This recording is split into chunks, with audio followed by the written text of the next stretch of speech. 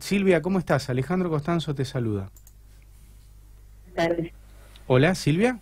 Ah, Hola, sí, Sí. buenas tardes. Ah, ¿qué tal? Ahí, ahí te escucho bien. ¿Cómo estás? Bueno, Bien. co- contanos, mira, eh, hay un ida y vuelta con este tema eh, que tiene que ver con algunos integrantes del gobierno que en la tele, en los medios, eh, están atacando con dureza la ley. Eh, y, y por otro lado, en, en diputados, eh, todos han avalado esta, esta ley. ¿eh? Menos, bueno, una diputada de la izquierda que no, no tiene que ver ni con, con, la con el oficialismo. Pero digo, ¿cómo, cómo ven ustedes esta ley? ¿Cuál es la necesidad de la, ah, la crisis alimentaria que hay hoy en la República Argentina? Bueno, con respecto a la ley, nosotros, nuestro planteo es que el proyecto de ley que se está tratando en este momento eh, tiene algunas cuestiones demasiado generales eh, respecto de cómo se debe implementar. Nosotros en el proyecto de ley que habíamos consensuado con las organizaciones hace un par de años ya y que habíamos presentado, eh, tomábamos algunos aspectos que nos parecen importantes respecto de qué alimentos se producen, cuáles son los alimentos saludables, eh, cómo hacer un seguimiento de, de una preocupación que tenemos por, por la, la situación eh, que hay en la sociedad en general y en particular en, en los sectores más empobrecidos respecto del consumo de alimentos y de aumento de algunas enfermedades que no son transmisibles, sino que son a- a- a enfermedades derivadas precisamente de, de lo que comemos, como la Sí. diabetes, como Sí. los problemas vasculares. claro. Eh, claro. y entonces, bueno, nos parece que hubiera sido importante eh, que se mantuvieran estos estos temas dentro de la letra de la ley. ¿Cuál es la De situ- todas maneras, Mm. sí. No, ¿cuál es la situación hoy en los barrios?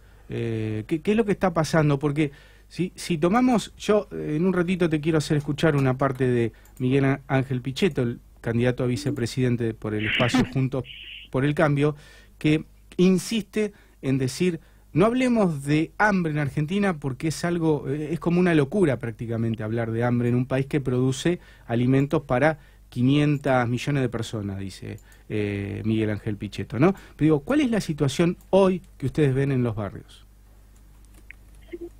Hay un, hay un, hay datos que elabora el INDEC que hablan de la cantidad de gente hoy en la indigencia. Ser indigente significa que tus ingresos no te alcanzan para comprar los alimentos suficientes. Entonces eso, sí, que Pichetto nos diga a ver de, que- cómo, cómo se llama, qué, qué nombre le quiere dar. Eh, en muchos casos eh, significa que hay una muy, muy mala alimentación y en otros muchos casos es que directamente no se puede llevar el plato de comida a la mesa.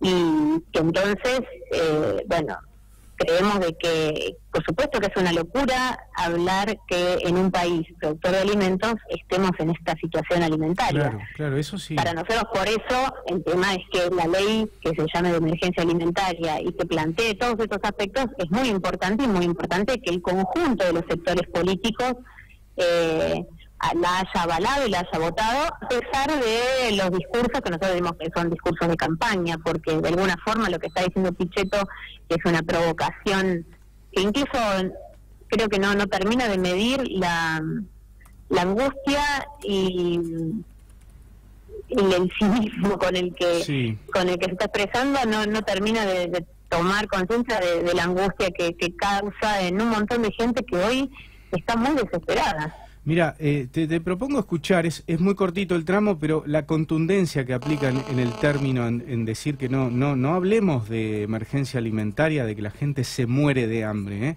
Fíjate eh, cómo, cómo lo dice, ahí, ahí lo vamos a poner.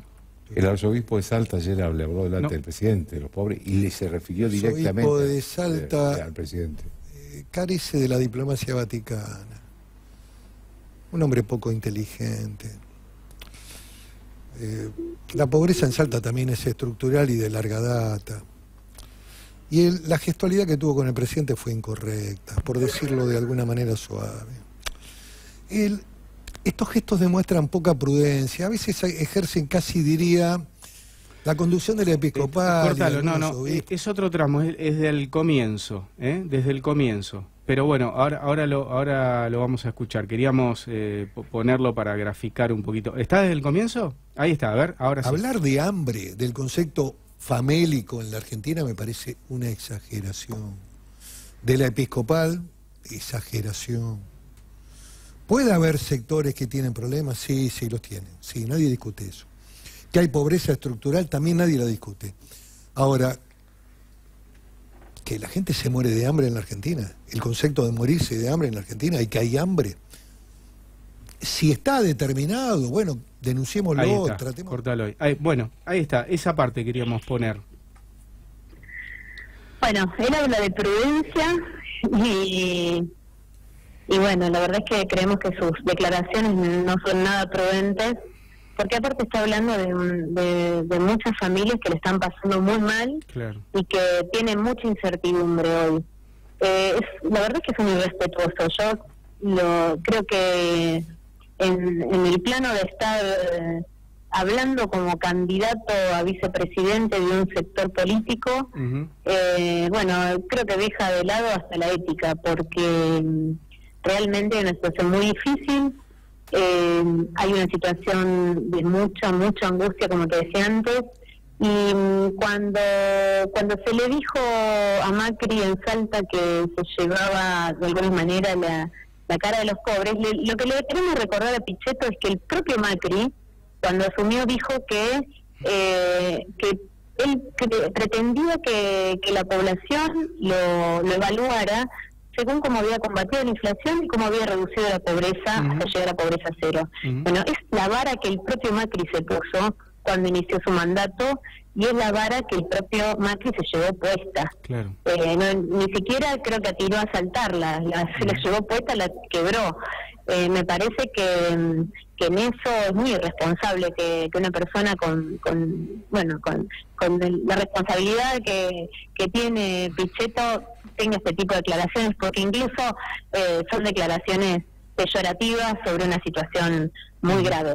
El propio Ministerio de Salud de la Nación, Salud y Desarrollo Social de la Nación, hizo una publicación eh, a fines del año pasado sobre una orientación sobre las guías alimentarias y plantea ahí esto que yo decía recién de que hay una prevalencia de enfermedades que no se van a curar, porque la diabetes no se cura, eh, las enfermedades eh, vasculares no se curan, eh, se pueden tratar, pero estamos Sí. diciendo que hay niños y niñas en nuestro país que por un problema de cómo se alimentan van a quedar con enfermedades de por vida, van a tener que convivir con esas enfermedades de por vida, con lo que significan el impacto de su calidad de vida. Eh, y, y- y que eso pareciera que bueno es un dato menor respecto a lo que se está planteando de la problemática de los alimentos. Silvia, ¿qué tal? Adrián González te saluda. Contanos un poco acerca de este informe que da cuenta del primer semestre de, de este año que realizaron desde Barrios de Pie sobre la detección precoz de la malnutrición. Bueno, ahí está una de las consecuencias de lo que decíamos recién. Nosotros hacemos un seguimiento de, de niños y niñas y de los lactantes que vienen a nuestros comedores y merenderos. Y detectamos eh, casi 9.800 casos de malnutrición en niños, niñas y jóvenes y casi 600 casos, 595 casos de malnutrición en lactantes. ¿Cuáles Eso son los, los indicios de eso?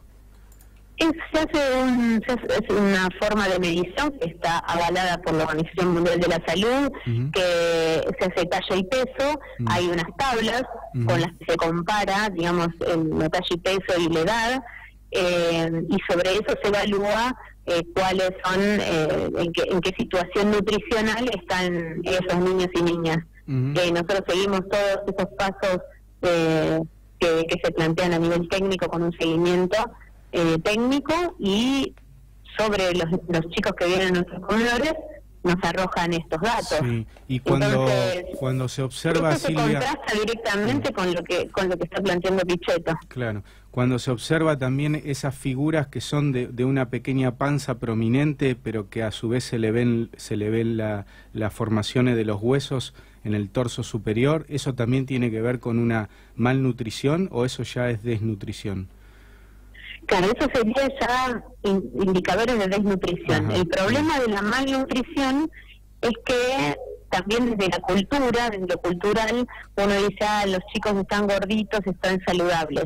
Sí. El problema es que es, eh, hay enfermedades silenciosas, por lo menos son, al principio, claro. que tienen que ver con estos problemas vasculares y problemas de diabetes, Mm, que, eh, bueno, tienen que ver directamente con la forma de alimentación de, de consumo de alimentos procesados y que tienen sal para los conservantes, que tienen muchísimo azúcar para saciar, para pensar que uno Sí. comió algo y, Y- y y- ya está satisfecho. Engañas al Eh, cuerpo. bueno, y eso es lo que hoy es una problemática, no solo de nuestro país, es una problemática a nivel mundial, pero que en nuestro país precisamente eh, una de las grandes contradicciones que tenemos es que somos un país productor de alimentos y estamos en esta situación con estos índices de, de enfermedades no transmisibles que cada vez se van incrementando mucho más y que están impactando directamente en los sectores más, más empobrecidos.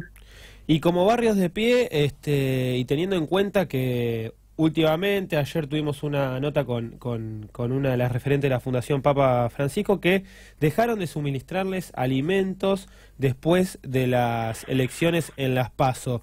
¿Cómo se organizan desde barrios de pie, en este caso, para tratar de que, de que coman, pero que no sea una malnutrición, digamos, de que sea una dieta más o menos considerada? Mira, hoy los comedores se sostienen en una parte importante por la solidaridad de, desde eh, pequeños negocios que rodean al- el barrio hasta algunas empresas que hacen donaciones, eh, bueno, actividades que hacen los compañeros para tratar de conseguir y comprar alimentos. Eh, hoy tuvimos precisamente una reunión con Desarrollo Social en la que se comprometieron a regularizar la entrega de alimentos.